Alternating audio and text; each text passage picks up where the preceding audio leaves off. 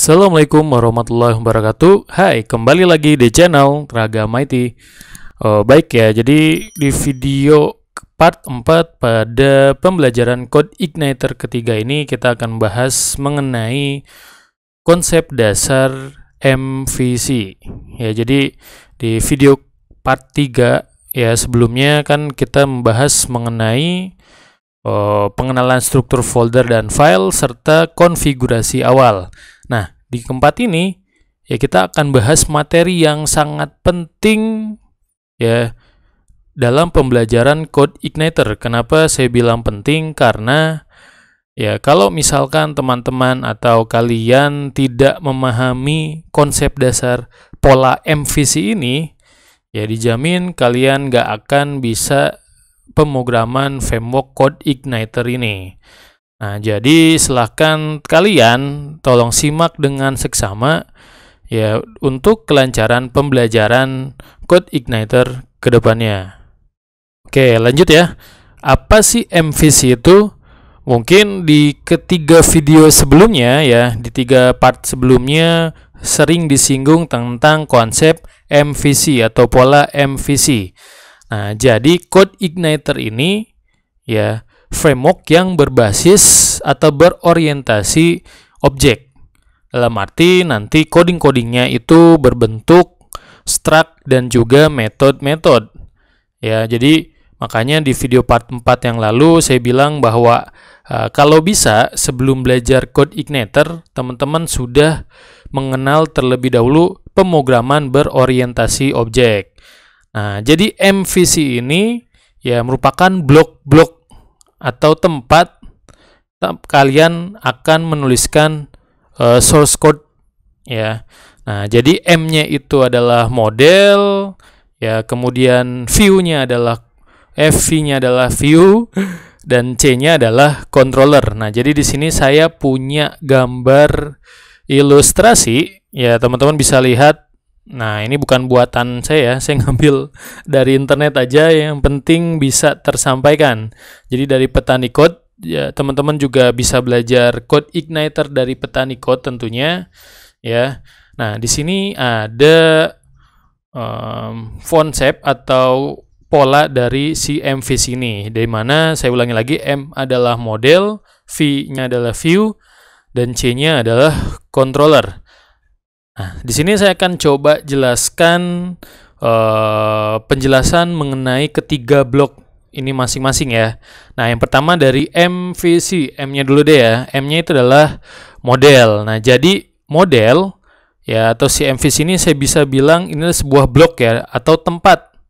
Nah, jadi kita ngodingnya itu dibagi menjadi tiga bagian. Nah, blok model atau si tempat kita akan mengcoding yang berkaitan dengan script model. Jadi model ini merupakan kode-kode atau script ya untuk uh, model bisnis dan data. Nah, jadi biasanya kalau misalkan kita berbicara tentang data, biasanya ini berhubungan dengan database. Dan database ini ya transaksi datanya kan kita bisa tahu ya bahwa um, untuk memenuhi transaksi data dalam database itu ada yang namanya proses CRUD ya. Create, R-nya read, E-nya edit, terus D-nya adalah delete. Nah, jadi kalau misalkan uh, kalian punya script yang berkaitan dengan transaksi data yaitu database ya tadi yang berkaitan dengan uh, CRUD ya create, read, update, delete. Nah, itu ditaruh di bagian atau di blok model. Oke, lanjut lagi. Blok yang kedua, MV. Nah, V-nya adalah view.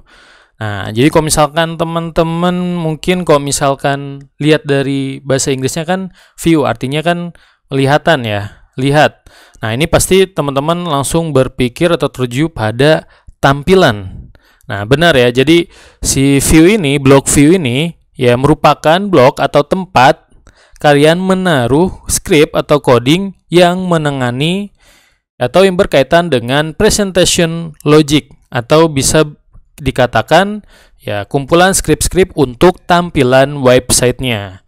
Nah, jadi pokoknya yang berhubungan dengan tampilan interface, user interface itu semuanya kalian taruh di blok view. Jadi tadi ya berkaitan dengan database ya disimpan di model, yang berkaitan dengan tampilan itu disimpan di block view. Ya, jadi di secara gas besar ya. Jadi di code igniter ini scriptnya dibagi-bagi menjadi tiga bagian. Tadi di block model, kemudian di block view dan terakhir C-nya nih, controller. Nah, apa sih controller ini? Kok bisa kan lihat dari diagramnya, controller ini ada di tengah-tengah nih ya menghubungkan antara model dan view. Nih lihat tuh tanda panahnya ya. Jadi misalkan kayak kayak dari model ya data dari model atau database ngambil data mau ditampilkan ke view ya jadi harus lewat controller. Atau bisa dibilang controller ini merupakan ya bagian yang mengatur hubungan nah kan antara bagian model dan bagian view. Ya dan juga si controller ini berfungsi untuk menerima request dan data dari user dan dari kontrol tersebut setelah menerima, apa, menerima request kemudian menentukan apa yang akan diproses atau dilakukan oleh si website. Jadi kalau misalkan lihat nih teman-teman di samping blok controller ada yang namanya HTTP request. Ya, nah jadi misalkan nih kalian mengakses websitenya ke menu A. Nah, proses request ke menu A tersebut itu tidak langsung ke bagian tampilan melainkan ke controller terlebih dahulu. Nah, dari control tadi baru ditentukan mau mengakses ke mana ke menu A misalkan ya baru tampilkan ke uh, tampilan menu A ke block view. Nah, jadi fungsi controller itu ada dua tadi ya. Uh, yang pertama tadi ya uh, menghubungkan antara bagian model dan bagian view dan yang kedua adalah menerima request dan data dari user dan menentukan apa yang akan dilakukan proses berikutnya. Jadi uh, kurang lebih secara garis besar seperti itu. Oke, gimana? Sudah paham ya untuk konsep MVC? Jadi M-nya adalah model, V-nya adalah view, C-nya adalah controller di mana eh, masing-masing uh, dari mereka merupakan blok atau tempat kalian akan menyimpan script ya atau menyimpan codingnya. Nah, oke Pak, saya udah ngerti nih untuk konsep MVC-nya, kemudian untuk implementasi ke codingnya seperti apa?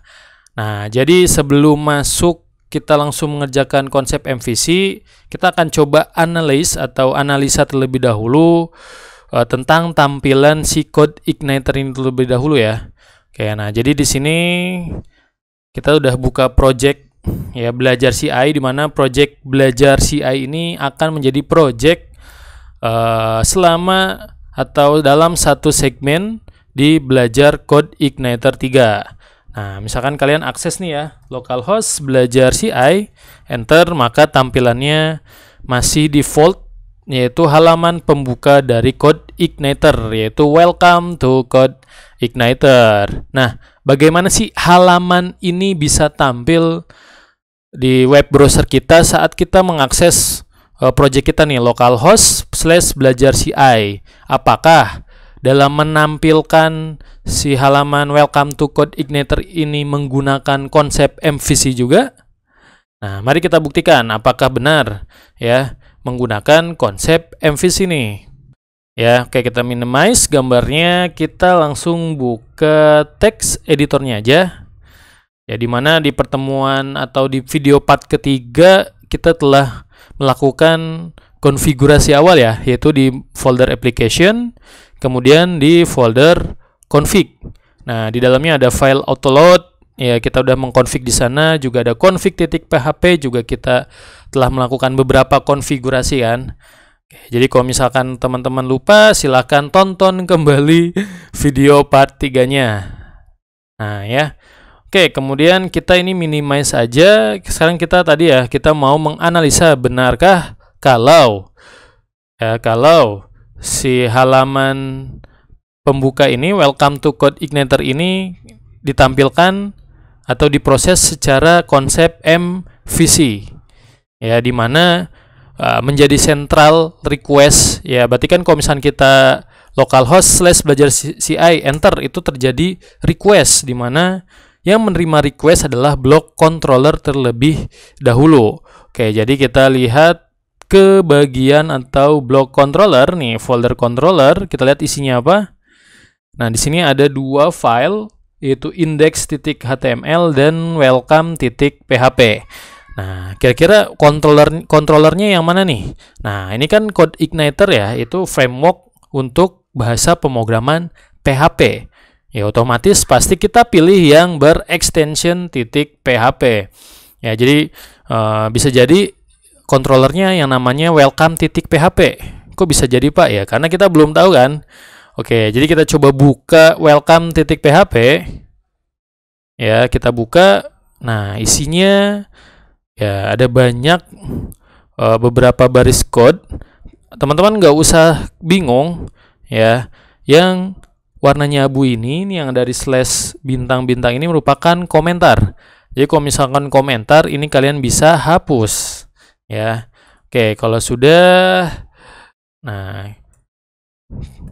Coding inti dari welcome titik php hanya berapa baris? Uh, kurang lebih 10 ya ya. Gitu. Jadi dimulai dengan pembuka titik PHP ya, kemudian di sini ada konstanta define. Ya, ini kita hiraukan dulu aja, ini nggak kita bahas atau teman-teman juga ini bisa kalian hapus, tapi jangan dihapus, biarin aja. Ya, jadi nanti ini kita akan bahas nanti aja. Jadi jangan lupa ya, kalau misalkan di controller itu dimulai dengan ya take PHP. Nah, kemudian ya setelah buka take titik PHP tanda tanya PHP. Nah, saya bilang bahwa konsep MVC ini ya ini berorientasi objek. Artinya ya di dalam pemrograman berorientasi uh, objek kan ya melibatkan kelas dan juga function ataupun metode. Nah, kalau misalkan teman-teman lihat lihat di sini. Nih, di dalamnya PHP ada kelas. Terus di dalam kelas juga ada function atau metode. Ya, benar kan ya? Berarti uh, bahwa kita juga harus paham tentang uh, orientasi objek, pemrograman berorientasi objek. Tapi bagi teman-teman yang memang belum belajar atau belum pernah ya, belum pernah belajar pemrograman berorientasi objek, eh, nggak uh, apa-apa, nggak masalah. Ya berarti sekalian belajar di pembelajaran saat Code Igniter ini, nggak masalah ya. Nah jadi di dalam controller welcome PHP ini ya ada satu kelas lihat nih ada satu kelas yang namanya welcome nah ya jadi nama kelasnya disamakan dengan nama dari save name si controllernya nanti deh saya akan jelaskan di video part berikutnya uh, tentang ketentuan dalam pembuatan controller nah jadi yang welcome titik PHP ini merupakan uh, controller bawaan si code igniternya ya. Kalau misalnya kalian belum edit edit. Ya jadi ada kelas namanya welcome. Ya, kemudian si kelas welcome ini di extend ya atau difungsikan sebagai CI controller. Nah, kemudian di dalamnya kelas welcome ya di dalamnya ada function atau method ya kita sebutnya function aja deh karena kan ini codingannya uh, function ya ada function namanya function in index. Ya, apakah harus selalu indeks? Oke, nanti di video part berikutnya saya juga akan menjelaskan mendetail tentang bagaimana cara membuat controller dan kelas serta function-function di dalamnya. Pokoknya ini teman-teman yang penting tahu dulu bentuk awal dari si kelas uh, apa si controller ini ya. Jadi saya ulangi lagi, di dalam kelas welcome ada function ya yang hak aksesnya adalah public, artinya si function index ini ya bisa diakses di luar controller welcome gitu ya. Tadi dan namanya adalah index. Nah, di mana ya function index ini di dalamnya berisi codingan ini. Dollar $this load panah view kemudian menuju ke welcome message. Maksudnya apa kira-kira? Jadi maksud dari codingan ini ya, saya blok nih yang di baris ke-8 ini, ya this load view ini merupakan codingan ya dari controller menuju ke blok view. Ya di mana saya bilang ingat ini adalah konsep M VC. Jadi tadi ya di request dari tadi kita ketik localhost slash belajar CI enter itu merupakan request di mana ternyata controller utamanya adalah si welcome titik PHP ini ya ini welcome titik PHP dan di dalam welcome titik PHP ada kelas welcome. Di dalam kelasnya welcome ada function index ya. Dan di dalam function index adalah menulis perintah this load view. Artinya ya load ke block view ya atau menuju ke block view gitu aja mudahnya ya. Dan akses atau load file yang namanya welcome underscore message nah sekarang kita buktikan bener nggak nih di tampilan atau di block view ya di blok tampilan bener nggak ada yang namanya welcome underscore message Oke, jadi ini blok controller ya. Di folder controller kita ke bawah, coba kita cari folder yang namanya views. Nah ini, views kita buka lihat. Nah, dalamnya ada nggak yang namanya welcome underscore message dan ternyata ada. Ya, jadi welcome underscore message titik php. Coba kita buka. Nah, lihat nih. Tuh, kalau misalkan tampilan kan biasanya identik dengan menggunakan bahasa HTML ya untuk kerangka dasarnya. Dan ciri khas dari block view seperti itu. Nah, kita buktikan bener nggak kalau si tampilan uh, mana? Nah, welcome to code igniter ini yang tadi welcome underscore message ya. Kita lihat nih ada tulisan welcome to code igniter. Oke, kita lihat. Nah, di atas masih uh, eh, CSS ya untuk penghiasan tampilannya kita cari benar nggak? Nah kan benar ya di sini tulisan Welcome to Code Igniter. Nah jadi ya untuk menampilkan nih tampilan uh, pembuka Welcome to Code Igniter ternyata kita nggak langsung mengakses si ini welcome underscore message melainkan harus melalui controller yang namanya welcome terlebih dahulu. Nah baru dari controller welcome ini baru diarahkan menuju block view yaitu ke file yang namanya welcome underscore message nah berarti sesuai ya dengan konsep MVC bahwa tadi kalau misalkan kita dari user kita sebagai user melakukan request ya entah itu pemanggilan data mau mau menampilkan sebuah tampilan itu pasti sentralnya itu melalui controller. Nah, dari controller tadi kalian ketik codingan mau melakukan apa selanjutnya? Apakah mau ngambil data ke model, apakah mau menuju ke sebuah tampilan untuk ditampilkan? Pokoknya saya ulangi lagi sentralnya ada di controller dan ingat ya selalu dengan pola atau konsep MVC ini. Ya. Oke, kalau nggak percaya kita coba rubah nih. Benar nggak kalau welcome message underscore message ini merupakan tadi ini halaman yang ditampilkan di sini. Ya, oke kita coba rubah ya. Welcome, wes kehapus.